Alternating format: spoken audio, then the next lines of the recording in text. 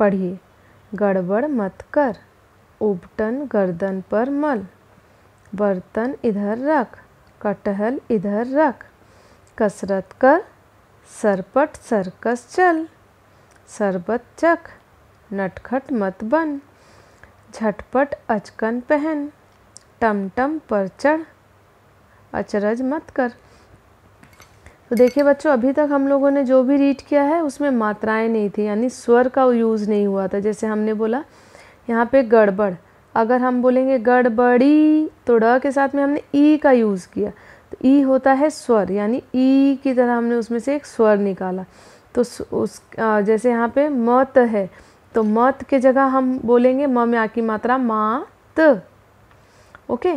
तो next chapter जो है, वो होगा हम मात्राएँ सीखेंगे। मात्रा यानी अब हम आ की मात्रा, छोटी की मात्रा लगाकर हम इसे अलग तरह से बोल सकते हैं। मात्राओं के साथ बिल्कुल सही तरह से हमें बोला, बोलना सिखाया जाएगा। बहुत सारे वर्ड हम उसे सीख सकते हैं।